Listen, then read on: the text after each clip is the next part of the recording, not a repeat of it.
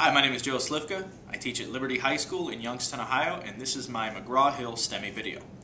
I had my students work on a balloon-powered race car challenge. It was a project that I designed that incorporated all three of Newton's laws, as well as the formulas for force, velocity, and acceleration. The students had to write daily journals, so that incorporated our literacy as well. They had to design a car that followed seven rules. The first rule was it must be powered by a single 12-inch balloon. Everyone got the same exact balloon. Uh, the second rule was they can build their car out of anything. The third rule was the car had to have at least three wheels. Now, wheel was defined as anything that is round and goes round. And the second part to that rule was that it could not be a wheel from a toy car.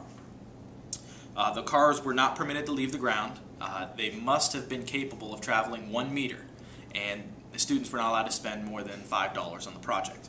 I wanted them to build their cars from everyday things that they had at home.